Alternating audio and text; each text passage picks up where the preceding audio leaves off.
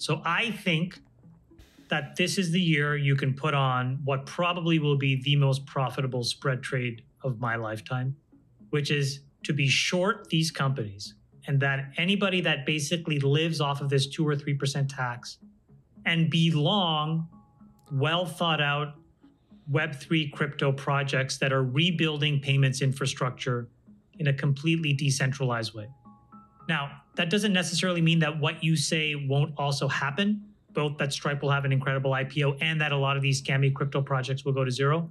However, if you read the white papers of these crypto projects and you systematically put together a, a framework, I think you can be long those and you can be short Visa MasterCard because I think this is their peak market cap. Complete and utter bullshit. I am calling Chamath out for stating that Web3 cryptos are going to be the future infrastructure of payment systems, payment gateways, and you should be shorting right now Visa, MasterCard, PayPal. I mean, Stripe's coming to the market is potentially the largest IPO in history, and he's stating that all of these companies have basically reached their max market caps. And I just find it so funny to tell everyone to short one company but not list one Web3 crypto in the bubbly market that is the crypto space, to not even name one crypto that you are buying or bullish on just seems so absurd to me mentioning this over the holidays. So what we're going to do is we're going to take a look at some of these stocks and I'm very biased here because I don't own any of them by the way, but we're going to talk about the stocks and we're going to talk about what Visa, MasterCard have that maybe, you know, crypto doesn't. And then we're going to talk about what crypto has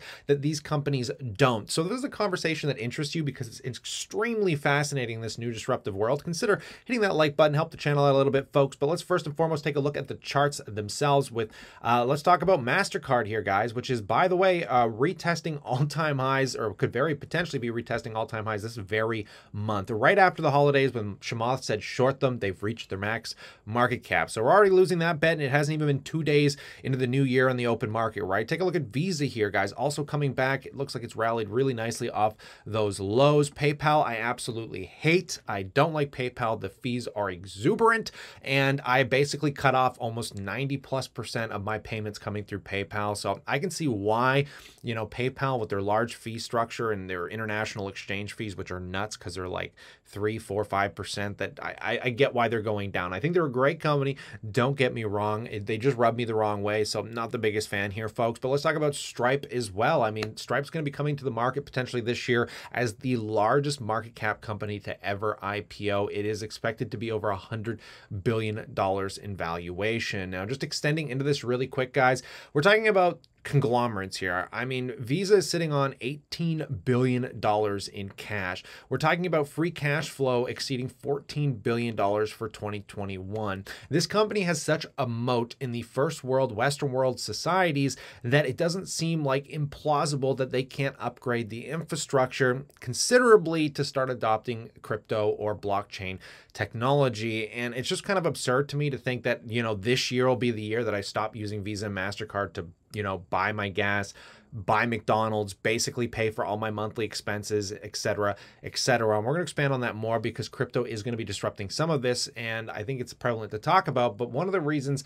and one of the goats, or one of these kind of you know leading examples that he used that you know Visa, Mastercard have reached max market cap. And don't get me wrong, I think they're going to lose a lot of market share over the next decade. We're going to talk about why. But he said that because Amazon is stopping uh, accepting Visa cards in the UK, that this is the catalyst that's going to lead lead to a larger expansion of Amazon cutting them off because their fees are far too high. And in Europe, their fees were way too exuberant. But the funny thing was is they didn't exactly ban them. They stopped you from using credit cards, but you can still use prepaid Visa's debit cards. So if you have a Visa debit card that you use for your banking, you can still use it to buy stuff on Amazon in the UK. So it's not like it was just 100% banned, and I don't think that is going to be the goat or the the catalyst that is going to lead to an escapade of just people dropping Visa or Mastercard. I just don't see it. It's like Stripe, right? Like when are we going to start seeing the adoption of crypto into the back end of online services? I use Stripe for a lot of my Shopify, your your Squarespace stores.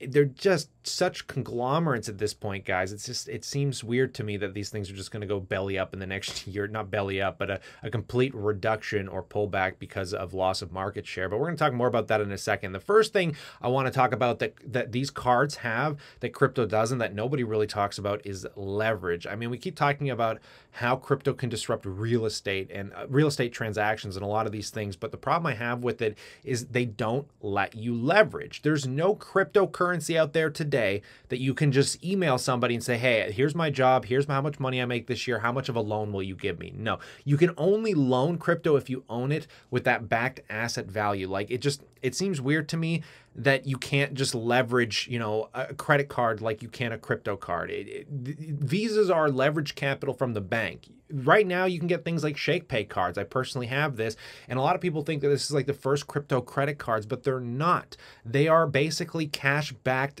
debit cards. That's it. If you own a ShakePay account, you have to have Canadian dollars in there, and you can spend them and get a really good interest rate from using the ShakePay Visa card. This isn't a crypto credit card, guys. It's it's nothing of the likes. And even if you come out with a crypto credit card, it's not going to be backed by leverage because there's obviously a lot more risk and stuff that comes in that can't be operated through a decentralized network. So that's one of the falters that I find. The next one is obviously security. If you are moving around multi-million dollar transactions, say in the real estate market or just in general, most people like the comfort of knowing that when you're sending a wire transfer, yeah, it takes a few days. Yeah, you're going to pay some fees, but if it screws up, hey, guess what? I can make one phone call and that money's back in my bank account. I've had my credit card stolen three or four times over the last 10 years, guys. When I was traveling, one of my credit cards got stolen. Somebody purchased a plane ticket with it. One phone call, second later, reverse transaction back in my account. Crypto, unfortunately, isn't for the stupid. Uh, if you do not know what you're doing with crypto, even though I think it's much more secure for people that know what they're doing, you just send one transaction to the wrong number on a wallet and it's vaporized, gone forever. And that scares the shit out of the average day person. So unfortunately, crypto needs to find more security. This is why we keep saying, or why I keep saying, that the future isn't the disruption of banks and these big Visa, MasterCard companies, but rather the emergence of both. Because if you can bring on, and again, we're going to see the Federal Reserve, the Canadian Treasury are going to start bringing on their own crypto-based dollar, you know, um, blockchain technologies. I, that's an inevitability, in my opinion, as it also will probably get into closing houses, the back end of how we deal with stocks. I honestly think it's going to be one of the most disruptive technologies technologies, but I feel like it needs an emergence of some of these things um, that crypto just doesn't offer right now, and it can only be done through t- traditional platform. So let's talk about what crypto has that these things just don't. And the first and foremost, guys, is the fact, and Chamath talks about this in that video. If you go watch it, he does go on about the fact that nearly 3 billion people, or 30% of the world's population, have never used the internet according to the United States. And the vast majority of these people don't have access to traditional banks because these are largely third and second worlds. And as the internet becomes more and more available, the only thing that they're going to have access to, especially when you're talking about certain places in Africa, I mean, Venezuela is a great example example here, guys, that those people would likely turn to the decentralized asset aspect of banking rather than use their traditional banking, which is why a lot of people are highly bullish on the crypto market because basically the crypto is going to be building up the infrastructure of the rest of the world in my opinion. I think that is a high likelihood of happening. And the other thing that crypto really does well guys is that idea of decentralization the fact that you can pick cryptos that aren't uh, basically going to be inflated to nothing the fact that uh, crypto can't be taken from you. It, it, there's a lot of other things that come with the stability i think making it its own asset class. I mean kevin o'leary said it is the next asset class that people didn't think could exist. Um, it's a very interesting and intriguing place. And again, I think it's going to disrupt a huge percentage of traditional finance. However, the problem right now, guys, is because it's like the early days of the internet, it's a bubble. I've said this time and time again, guys, there's over 8,000 cryptos that currently exist. Most of them, 90% of them, are going to go to dead zero. This is why I don't think Chamath has the balls to actually name the cryptos he's buying because you have to diversify them. It doesn't matter how good the project is. The fact of the matter is, is people can copy and paste crypto code. There is no IP.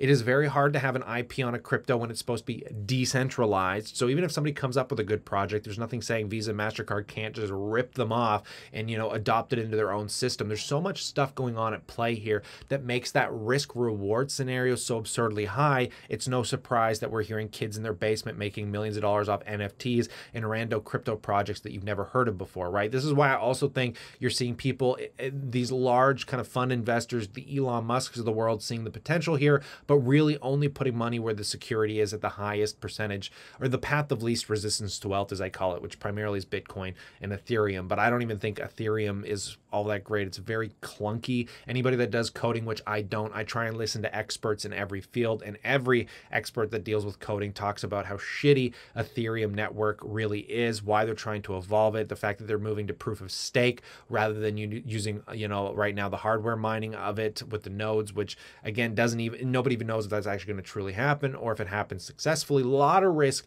in this space. So I'm going to make a bold prediction right now that crypto is going to be probably the largest utility shift in, in the financial world across many spectrums. It's going to hit music. It's going to hit the transaction of baseball games, the way you buy those tickets, movies, all of that jazz. It's coming, baby. It's just not here yet. So if you're you're jumping into this space, be aware that the likelihood of you losing money is about 98%, in my humble opinion.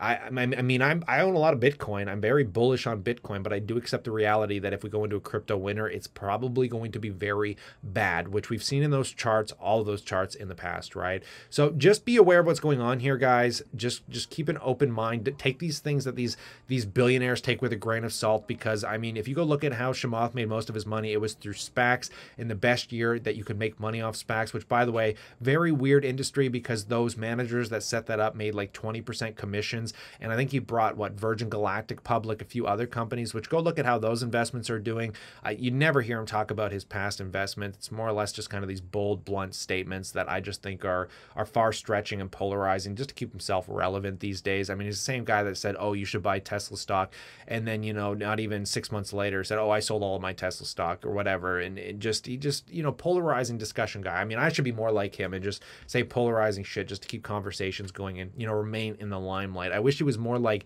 an Elon Musk, very methodical about his statements rather than just sitting on a podcast rambling. But that's what he likes to do. That's what I like to do. So I, I can't say I'm any better, but just a fun, you know, combative conversation today. So stay cool, stay awesome, and I look forward to catching you tomorrow.